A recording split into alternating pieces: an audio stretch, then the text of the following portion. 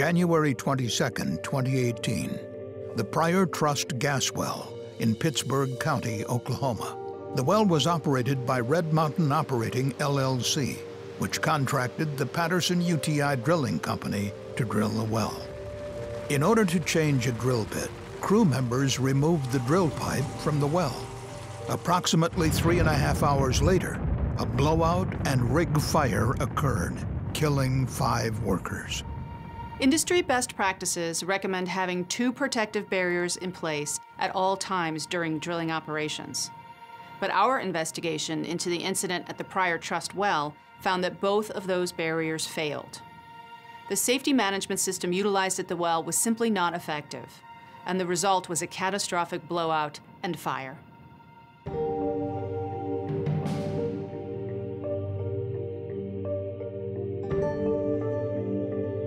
The Pryor Trust gas well was comprised of vertical and horizontal sections being drilled to reach underground natural gas in the Woodford Geological Formation.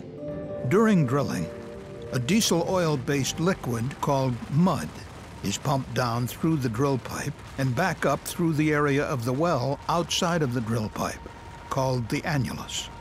When mud returns to the surface, it includes rock cuttings from the bottom of the well. Mud, however, has another important function.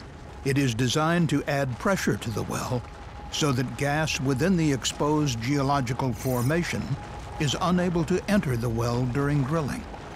If that happens, and the gas is not detected, it can lead to a dangerous blowout.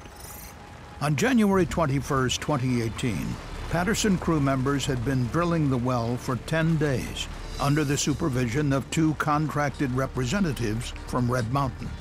They were drilling the horizontal section of the well. That morning, a crew member called a mudlogger studied the rocks returning to the surface and found they were different than expected.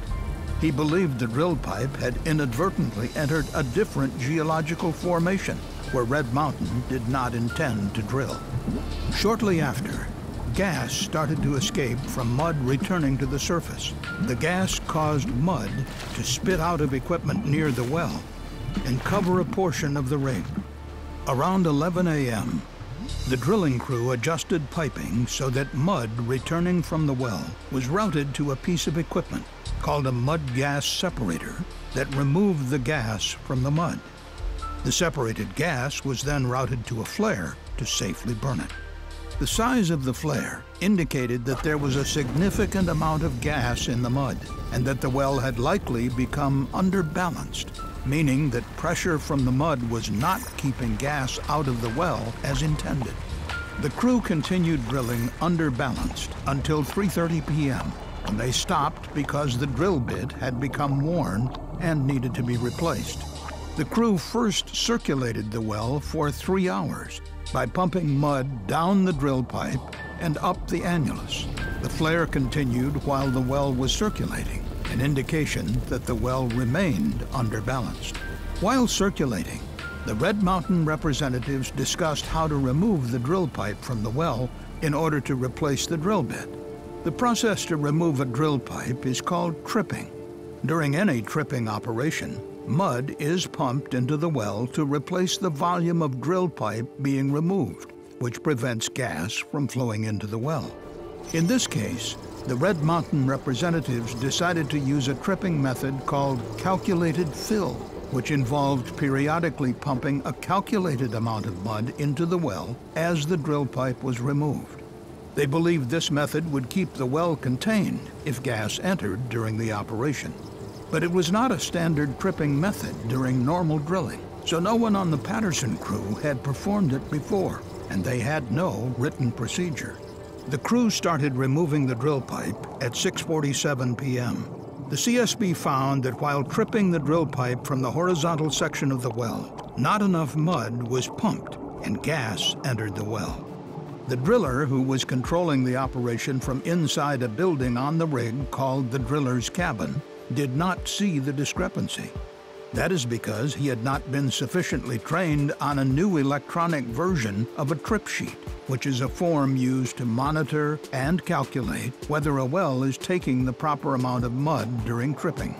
As a result, he was unable to see that a significant amount of gas continued to enter or expand within the well, causing pressure in the well to increase and mud to backflow into a tank at the surface called the trip tank. In fact, pressure at the surface of the well had increased so much that the centrifugal pump the crew was using was no longer able to pump mud against the pressure of the well. Red Mountain's representatives decided to switch to higher pressure pumps, called mud pumps, to try to force mud into the well. They believed that the pressure applied by the new pumps would push any gas out of the well. But by the time the drill bit reached the top of the curve in the well, the CSB found that unknown to drilling crew members, 20 barrels of gas had entered or expanded within the well. At that time, the drilling crew performed a 45 second flow check to see if gas was flowing in the well. The crew did not observe any flow of gas and believed the well to be stable, but the CSB determined that the flow check was inadequate. At 11 p.m., the drilling crew again circulated the well. While circulating, the rig's mud pits, which are tanks used to hold mud at the surface and are equipped with level sensors, gained 14 barrels of mud when they should have remained stable. This meant that the well gained approximately 14 barrels of gas, which caused the mud to escape at the surface. But the night shift driller had turned off the alarm system before the tripping operation, and no alarm sounded, so the large gain went unnoticed. Red Mountain's representatives then decided to pump a weighted volume of mud, called a pill, into the well, meant to generate enough pressure to prevent gas from entering the well. But a Patterson drilling crew member misheard Red Mountain's instructions over the radio, and they accidentally added lost circulation material to the pill. This material is designed to clog breaches in the well and is not intended to be in weighted pills. Although the mistake was discovered, the pill containing the lost circulation material was pumped down to the bottom of the drill pipe, clogging it. By 1:12 a.m. on January 22nd, the crew started to remove the drill pipe from the vertical section of the well, this time using the typical industry tripping method called continuous fill, where mud is pumped continuously into the well as the drill pipe is removed. But because the drill pipe was clogged, the mud was not freely draining into the well. The crew attempted to pump a weighted slug of mud into the drill pipe to push the clogged mud out, but this was not successful. With the drill pipe plugged, the drilling crew had to trip wet, meaning mud was in the pipe sections being removed at the surface. The drilling crew used what is known as a mud bucket to collect the mud from the drill pipe, which they drained into the trip tank. But the trip tank was also used to pump mud into the well during tripping. So the trip tank volume started to fluctuate as mud was pumped out to the well and drained in from the drill pipe. The fluctuations confused crew members, and they did not realize that while the drill pipe was removed from the vertical section, the well gained another 23 barrels of gas. When the bottom hole assembly, which is equipment at the end of the drill pipe that includes the drill bit, was near the top of the well, the crew finally removed the plugged part of the drill pipe. For the next hour, they tried to clear the clog. But at that time, and during a subsequent shift change, the well was still flowing, gaining another 31 barrels of gas and pushing more mud into the trip tank. No one saw the gain. At 6:10 a.m., the crew lifted the bottom hole assembly out of the well and closed the blind rams on the blowout preventer. They prepared a new bottom hole assembly for testing. When it was ready, a drilling crew member checked a pressure gauge on the rig floor to see if it showed pressure in the well, a safety precaution used before opening the blowout preventer. The pressure gauge showed no pressure. But at 7.57 a.m., when the blind rams were reopened so the new bottom hole assembly could be lowered into the well, five barrels of mud surged to the mud pits. At that time, a crew member pulled away the steel plate that had been covering the hole in the rig floor over the well. He waved over another worker who saw mud bubbling in the well, a sign that there was a significant amount of gas in the mud. That worker later told the CSB that he does not know if the mud bubbling was communicated to the driller. Between 7:57 a.m. and 8:35 a.m., while the drilling crew was testing the new bottom hole assembly, the mud pits gained another 102 barrels of mud, a very large volume. This significant gain likely displayed on the driller's data screen. But the day shift driller also chose to turn off the alarm system, and it is unknown if the driller saw this dangerous gain. At 8:35, with testing complete, the bottom hole assembly was removed from the well, and the mud pits gained another 12 barrels of mud, for a total influx of 207 barrels of gas into the well from the start of the tripping operation. A crew member saw mud flowing up out of the open blowout preventer stack. The mud was shooting up steadily, getting closer to the rig floor. The crew member told the driller, and the driller responded, that he was going to close the blind rams, but he never made it. Seconds later, mud blew upwards out of the well in what is known as a blowout. Two workers on the rig floor ran into the driller's cabin, where three other workers were already located. Gas and mud then ignited, causing a massive fire. All five people in the driller's cabin were killed. The blowout continued for hours until a well control services company was able to shut in the well around 4 p.m. During its investigation, the CSB found data indicating that on the evening prior to the blowout, the night shift driller turned off the entire alarm system. Data also indicates that the day shift driller briefly turned on the alarm system, but then quickly turned it off again on the day of the incident. Other than that short period, the alarm system was off for 14 hours, leading to the blowout. We were not able to conclusively determine why the drillers turned the alarm system off. A possible reason why they did is that the alarms were perceived as a nuisance or an annoyance. In fact, we found that had the alarm system been on, most of the alarms that would have activated during the 14 hours leading up to the incident likely would have been irrelevant to detecting the problems in the well. For an alarm system to be effective, it must be configured so that the driller only receives alerts to conditions that require attention. But the CSB found that Patterson did not develop guidance to help drillers set the alarm system for the various operations performed on the rig, such as drilling, tripping, and circulating. Instead, to manage the alarm rate, both drillers apparently elected to simply turn off the alarm system. We concluded that what's called a state-based alarm strategy is one way to solve this issue. For example, on a drilling rig, there could be different active alarms for each operation, such as drilling, tripping, and circulating, so that alarms critical to a certain operation do not become a nuisance when operating in a different state where those alarms are not needed. Although there is a large body of guidance and recommendations on the design of alarm systems for hazardous operations, none are specifically targeted for the drilling industry. As a result, the CSB made a recommendation to the American Petroleum Institute to develop a standard on alarm management, specifically for the drilling industry, that addresses drilling's unique dynamic environment and provides guidance on implementing a state-based alarm system for different operating modes. When the blowout started, two crew members on the rig floor ran inside the driller's cabin. Three other crew members were already in the driller's cabin, and all five workers were killed. It is unknown how long the victims remained alive inside the driller's cabin, but they had no viable escape routes. There were two exit doors from the driller's cabin, but both of those exit doors were blocked by flames after the gas and mud ignited. The CSB concluded that had the fire rating of the driller's cabin been insured for a minimum time, with emergency escape options from the floor or from the back wall, there could have been a better chance for the workers inside to have survived this incident. Stan Christman is a drilling expert who consulted with the CSB on the Pryor Trust investigation. On a drilling rig, the operations are controlled uh, from the driller's cabin by the key man, the driller.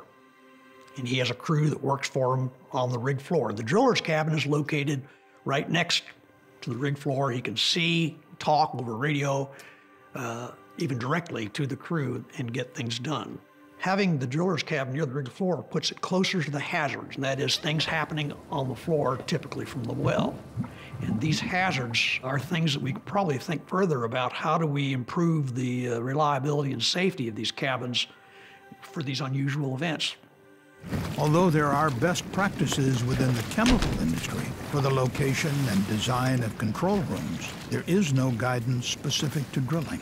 As a result, the CSB made a recommendation to the American Petroleum Institute to develop guidance addressing the protection of onshore rig workers from fire and explosion hazards in the event of a blowout.